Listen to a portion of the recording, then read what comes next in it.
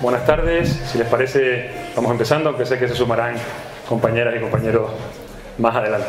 Eh, bienvenidos a la Corea Corner, bienvenidos al acto en el que vamos a realizar, pase, pase, pase. Vamos a realizar un taller de K-pop y una degustación gastronómica al final del acto.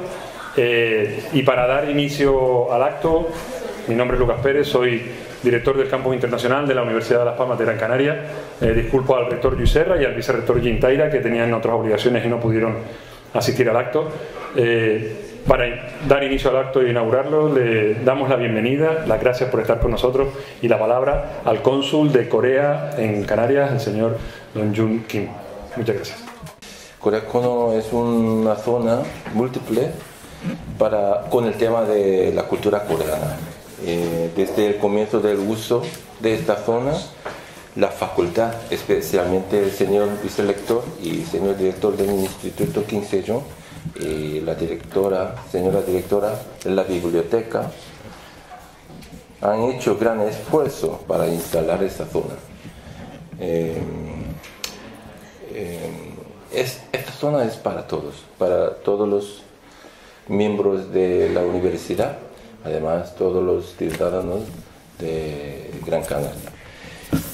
También muchas gracias por ah, invitarme hoy en la taller de la cultura coreana contemporánea. Eh, es un placer muy especial para mí. Eh, la semana pasada vine aquí para asistir a la taller de aprendizaje de coreano. Eh, con la ayuda del Instituto Sensation. Me alegro muchísimo. me parece que fue muy útil para, lo, para la gente que quisiera aprender coreano y disfrutar la cultura coreana. Como sabemos que el año 2013 se inauguró el Instituto Kim Se-jong y, y muchos canarios, especialmente los jóvenes, universitarios han estudiado coreano a lo largo de su abertura de la puerta del instituto eh, por 10 años. Y funciona perfectamente mm, dando los cursos diversos y útiles. Los estudiantes han aprendido coreano no solo para hablarlo, sino para gozar los frutos de su curiosidad. Eso es fertilizante para criar su sueño como trabajar en Corea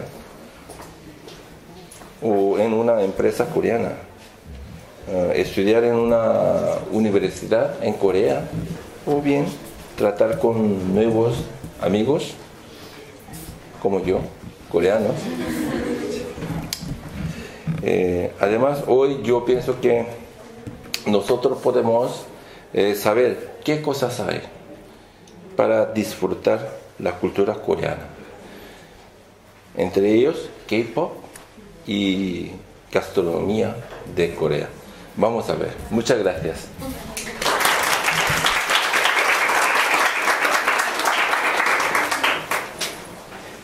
Muy bien, muchísimas gracias, eh, señor cónsul. Quiero decir que eh, la Universidad de Las Palmas de Gran Canaria, el vicerrectorado, ha tenido desde el minuto uno el apoyo del consulado para fortalecer todo lo posible el Instituto Quincellón y es un instituto fuerte, vigoroso, sano, joven, cumple 10 años este año, así que trabajaremos porque cumpla 10 años más y al inicio de esta idea de traer a Las Palmas de Gran Canaria de forma novedosa en todo el territorio español eh, la Corea Corner. Para nosotros fue una aventura y un privilegio que ya comentamos el otro día, que por supuesto no podríamos tener aquí si no fuese por el consulado de Corea en Canarias al que le agradecemos muchísimo. Y la otra pata es la biblioteca.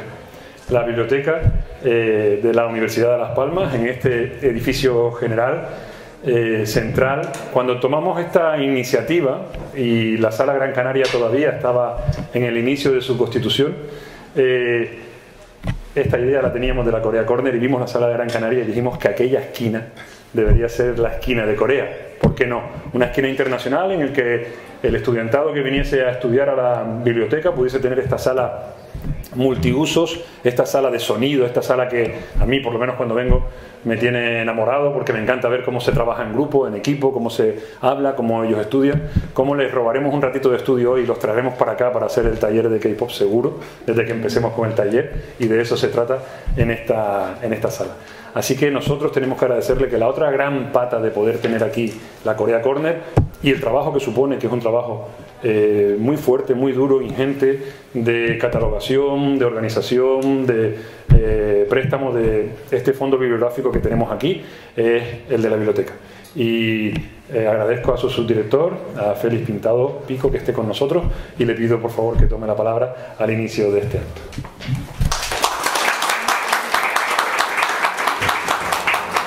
buenas tardes.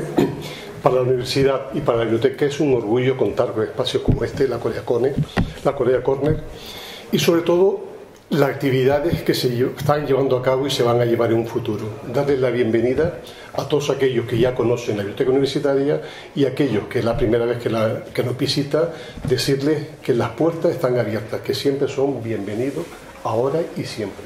Nada más.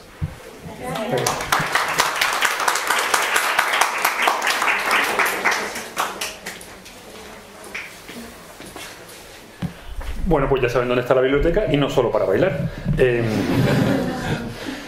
bien, cuando empezamos a pensar en actos para celebrar y desarrollar la cultura coreana, eh, trabajamos con un grupo de estudiantes de eh, esta universidad a la que le gustaba mucho esa cultura coreana. Evidentemente el idioma es esencial, la literatura es esencial, distintos tipos de su manifestación, la gastronomía es esencial y por eso al final tendremos esa parte de gastronomía, pero todos nos hablaban del K-pop. Eh, cuando tuvimos la idea de, en la Semana de Corea, eh, tener un taller de K-pop, creo que todos disfrutamos de cómo el obelisco se colonizó, toda la zona del obelisco estaba llena de eh, gente interesada por esta cultura, por este baile y cómo bailaban. Eh, por lo tanto, pensamos que una de las actividades que teníamos que desarrollar seguro en esta Corea Corner era este taller de K-pop. Le agradezco mucho a Nvidia, a todo el grupo, a Eric al grupo en general, que hayan hecho el esfuerzo de estar aquí. Eh, lo verán en diversas galas, lo verán hoy en la gala drag también de, eh, del sur, así que tienen el don de la ubicuidad de estar aquí y estar allí, así que se los agradezco mucho. Y también que hayan tenido la adaptación también y la idea de que eh, le hicimos la propuesta que fuese un inicio primero académico para entrar en la cultura, para entrar en la cultura del, baile y explicarnos eh, esa introducción al K-pop, que todos entrásemos en, esa, en ese conocimiento de por qué el baile, su relación con la cultura coreana, su relación con Corea, su relación con esta Corea Corner, evidentemente, por el hecho de estar aquí, y que después practicásemos. Así que la idea, y nos callamos ya, los que a los que no han venido ustedes a escuchar. La idea es que ellos nos hagan una primera introducción de esa cultura coreana, después nos van a hacer eh, una demostración, después nos van a hacer ellos, eh, bueno, vamos a verle bailar para, para ponernos en situación, eh, eso será nivel 11. Después nosotros en el taller podemos llegar a nivel 6, no hay y después haremos el taller de, de baile con ellos, ¿de acuerdo? Así que les agradezco muchísimo y a partir de ahora ya nosotros nos quedamos a aprender de la cultura coreana, en concreto del baile eh, coreano del K-pop. Muchas gracias.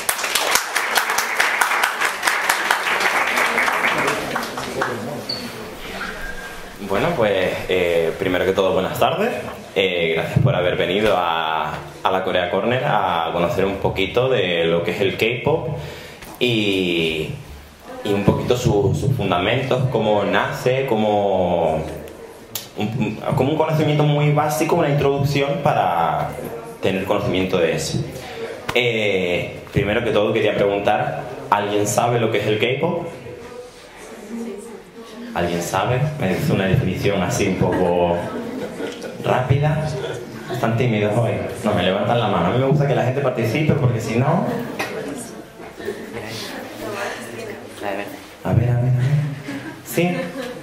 Algo así por encima, hombre. ¿No? Vale. Pues, eh, para la gente que, que, no lo sepa, nosotros estamos aquí para explicarlo, ¿vale? Hay que coger el maldito. Ah, no, maldito. Ah, mira, perfecto.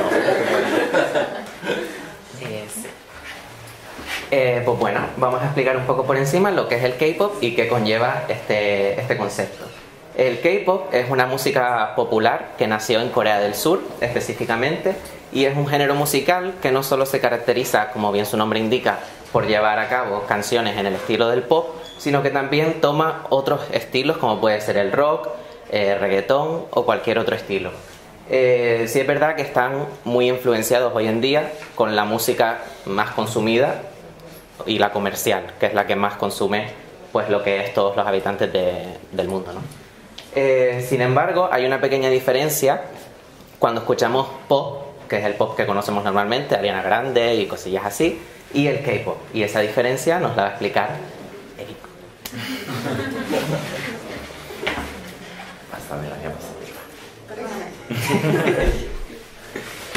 pues cuando nosotros hablamos de K-pop, eh, en sí nos imaginamos lo que nosotros llamamos una performance en sí, ¿no? Que eh, para nosotros principalmente tiene cuatro características que eh, las mostramos ahí. Canto, baile, estética y carisma. En canto, en canto que podemos definir, pues jóvenes que, tanto en canto como en baile, entrenan durante muchos años, o sea, durante su periodo que se le conoce como periodo de trainee, y entrenan durante muchos años para eh, poder cantar, entrenar la voz y demás, y poder cantar en directo a la misma vez que bailan, ¿vale? Entonces, el canto es algo fundamental en la eh, performance de K-pop y el, en el K-pop en sí, en los grupos de K-pop. Al igual el baile, van a la par, o sea, como mismo se entrena el canto, se entrena el baile y eh, se hacen las dos cosas a la vez en la performance.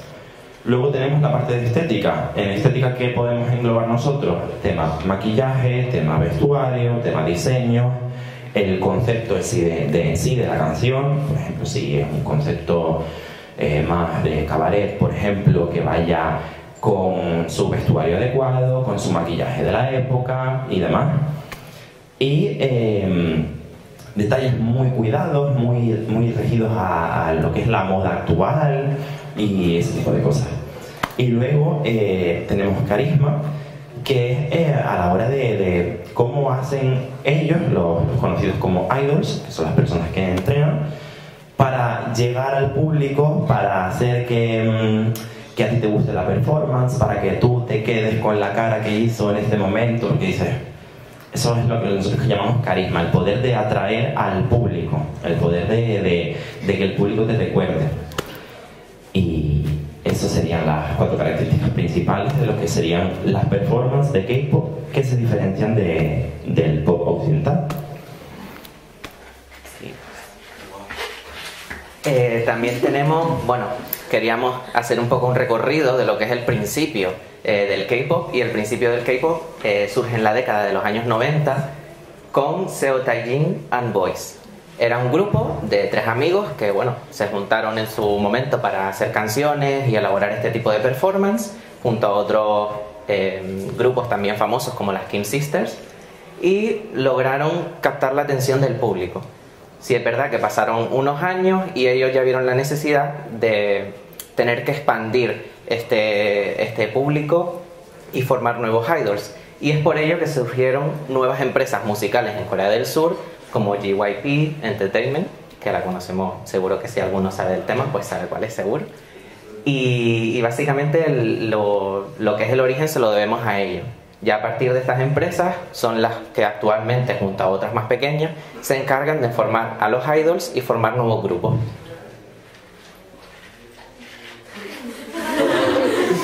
sí, era evidente que esto iba a venir porque eh, esto fue el, boom. Fue el boom cuando el artista Psy sacó esta canción, que es el Gangnam Style. Lo conocen todos, yo creo.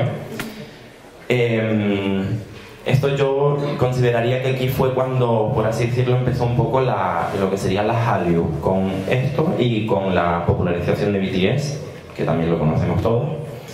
Eh, empezó el, el K-pop a expandirse alrededor del mundo, a, que la gente le causara curiosidad, que empezara a investigar, lo típico de que te pones por YouTube pones esta canción y te salen recomendados, pues así empezó muchísima gente alrededor del mundo y se dieron eh, cuenta de que existían más grupos, eh, muchos más idols, más canciones, más variedad y ahí es cuando se empezó a popularizar el tema eh, K-pop. También aparte de dándole visibilidad a lo que sería Corea del Sur, su cultura y demás. ¿Vale? Y aparte de Psy, también tenemos otros grupos famosos como pueden ser BTS, Blackpink y EXO, aparte de muchísimos más, pero digamos que son los que más han, conseguido la, la, atención del mundo ¿no? durante esta, esta década de años. Vale, ahora vamos a hablar un poco sobre la situación actual del K-pop, porque esto no solo se quedó en personas entrenando muchos años para destacar, sino que también originó un nuevo hobby entre, entre los jóvenes que, consta básicamente de recrearles. Por supuesto, siempre tenemos que tener nuestra esencia, muy importante, pero sí es verdad que a raíz de esto han surgido muchas alternativas. En primer lugar, tenemos los concursos. Los concursos es algo que se ha viralizado muchísimo en los últimos años y sobre todo aquí, en las Islas Canarias, tenemos muchísimos concursos que van sobre, sobre, sobre el K-Pop y el más destacado es el K-Pop World Festival, que es básicamente un concurso en el que luchas por representar a tu país. Nosotros hemos tenido la oportunidad de representar a España en tres ocasiones, pero bueno, no se ha dado el ir a Corea como tal, pero sí hemos representado a las Islas Canarias y a España. Luego tenemos eh, lo que es la faceta de YouTube. La faceta de YouTube está un poco más ambientada a, lo que es eh, un hobby normal y común. Los concursos sí tienen premiaciones y si buscas a lo mejor ese lado más profesional. Pero YouTube también es muy buena opción porque hay muchísimo público de todo el mundo que consume las covers que suben los bailarines de todo el mundo. Lo importante sobre todo también es sacar el vídeo lo antes posible. Si la canción sale el lunes, tú el viernes te plantas con el vídeo y lo subes a YouTube y las visitas van a crecer de una manera bestial. Y luego, por último, también tenemos la comunidad en sí que se ha formado, sobre todo en, Gran Canaria, Tenerife y demás islas. Es una comunidad en la que todos nos apoyamos con todos, somos muy... Eh, ¿Cómo decirlo? Una familia. Una familia. Y... sí, siempre todo el mundo es bienvenido, somos muy extrovertidos y, y bueno, que si quieren formar parte de la comunidad son bienvenidos también. No se han fijado, pero eso somos nosotros. ¿Eh? Ahí pues, eh, nada, por, hablar también un poquito de lo que se puede llegar a conseguir a raíz, de esto, como mi compañero dijo, eh, nosotros el año pasado pudimos representar a las Islas Canarias, no se dio la situación de ir a Corea, pero ganamos el primer puesto representando a las Islas Canarias. Y con el tema de YouTube, pues em, ahí también estamos nosotros, que subimos vídeos, estamos al pie del cañón, como quien dice pues eh, eso, sí, ¿no? eso lo, volvemos a, dar un rapid, una pasada por encima. La variedad de concursos, no tan solo aquí, sino alrededor del mundo en sí, en la península también hay, también hay conocidos como la, el, el K-Pop Festival de la Península, eh, los salones del manga y demás, que también eh, suele ir gente de la península en sí, al igual que nosotros, nosotros también solemos ir a, a concursar allá. Eh, ya hemos ido de hecho. Y em, aquí igual, aquí tenemos también varios concursos durante el transcurso del año, que estamos todos los meses ahí, desde que se acaba uno ya empezamos otro, y siempre para, para dar una performance como tal. Al, popularizarse el K-pop y lo que es eh, las K-pop covers, que es lo que hacemos nosotros, el, el coverear una, una, canción, un baile de los artistas que más nos gustan o los más populares, lo que sea, pues a raíz de eso han aparecido muchos grupos de, covers de K-pop. Nosotros somos uno, pero vamos, en la isla hay, me faltan dedos de la mano para contarte, en Tenerife es más de lo mismo, o en todos lados. Seguramente si ves a alguien por la calle bailando frente a un espejo, sean K-popers, te lo digo, porque es lo nuestro. Y eh, también queríamos hablar de la el pasado año se hizo un evento nuevo, que es la Gala de Oro, que eh, recoge la trayectoria de todos los concursos que entren dentro de un circuito de concursos eh, y premia como si fuera, por, así decirlo, el, ejemplo más occidental, el balón de oro en el fútbol, ¿vale?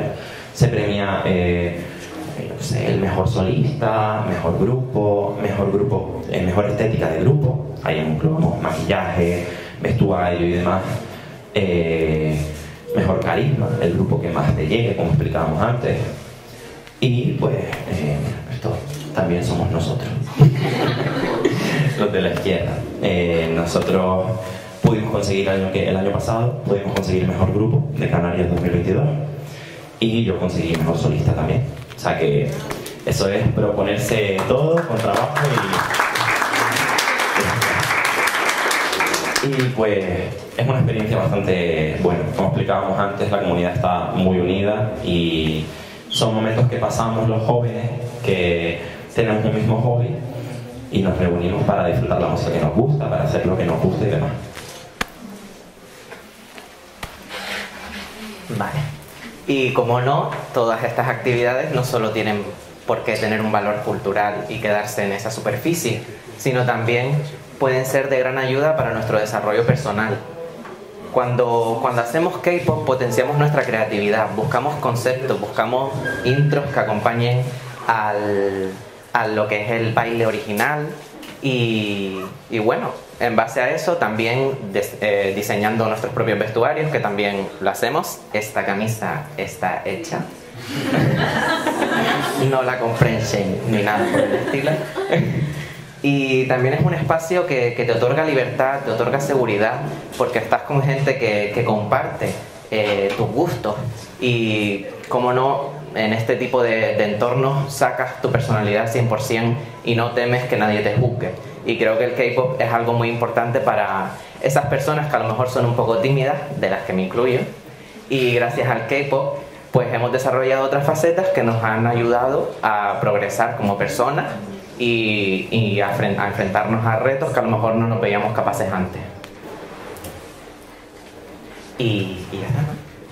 Yo quería añadir una cosilla. Añade, añade quería añadir una cosilla, que es que, bueno, eh, al nosotros haber ganado el, el premio Mejor Grupo en 2022, hemos tenido cierta, cierta audiencia, ¿no? cierto, cierto público.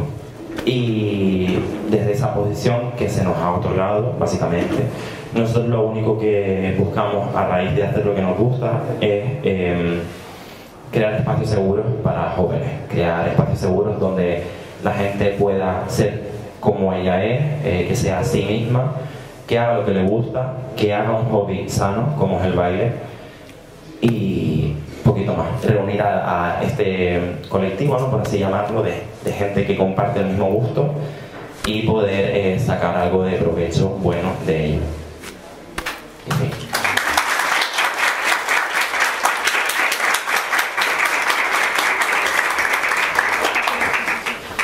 Bueno, eh, son un ejemplo, ¿no? Crear una juventud que tenga el sitio en el que pueda expresarse como quiera que sea, eh, en el que puedan ser libres de hacerlo y de desarrollar su personalidad y su forma de ser como les apetezca hacerlo. Así que es un ejemplo que tenemos que seguir todos. Eh, querría decir, creo que lo puedo decir aquí sobre el concurso, que la generosidad también del consulado eh, y la colaboración que hemos desarrollado desde hace tiempo ya con nuestras actividades vinculadas a la cultura coreana, eh, espero que podamos anunciar dentro de poco que ese concurso lo haremos este año en la Universidad de Las Palmas de Gran Canaria en bueno, un escenario vinculado a la Universidad de Las Palmas para que ahí también podamos eh, ver el talento de todos los grupos y bueno, este año si toca viaje a Corea pues toca ganarlo también para poder, mm, ¿no?